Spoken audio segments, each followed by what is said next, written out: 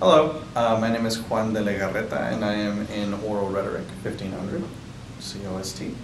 And uh, we're doing the icebreaker today, the shield that represents our life. So, this is my shield. It has four different sections.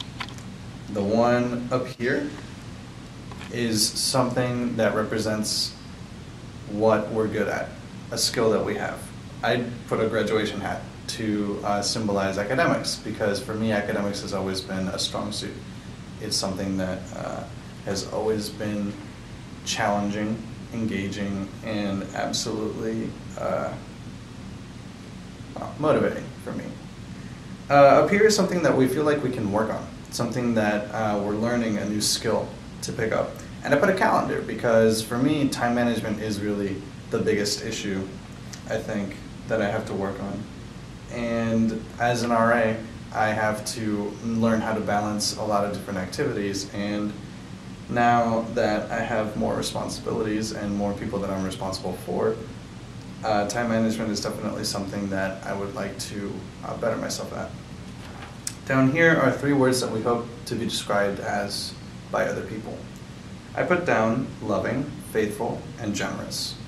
Now, loving definitely comes from uh, my family. My family is uh, my rock and my support, love them to death, and they definitely taught me the importance of loving and being loved. Uh, faithful because I, um, I feel like it's important to have faith in people.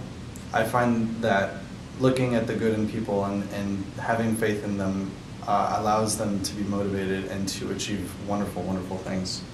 And then lastly, generous. I hope to become a servant leader, and so I hope that people will say that I was generous with my time and that I was generous with uh, my resources. And uh, this one represents a material possession that we most value. And I put down my high school class ring.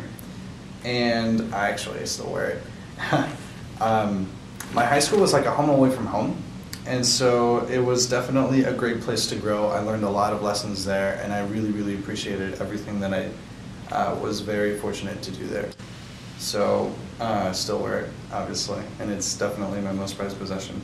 So that's my shield, essentially. It represents me. Um, thanks for watching.